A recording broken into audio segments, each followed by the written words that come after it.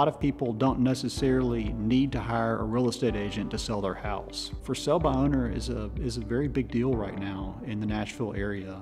Uh, and, and people have found that they can save a lot of money if they can get the right advice and assistance in that process. If you're selling your house yourself and you're not paying a percentage commission to a real estate agent, then you actually have some negotiating power that otherwise you wouldn't have. And that means that you can actually select the right buyer for your home. You don't have to take the most money. You can pick the best buyer. A lot of people think that if you're selling your house, you do not want to have any direct interaction with the buyer of your property. And the reason for that is because many of us have heard stories of uh, difficult transactions in which buyers and sellers don't get along.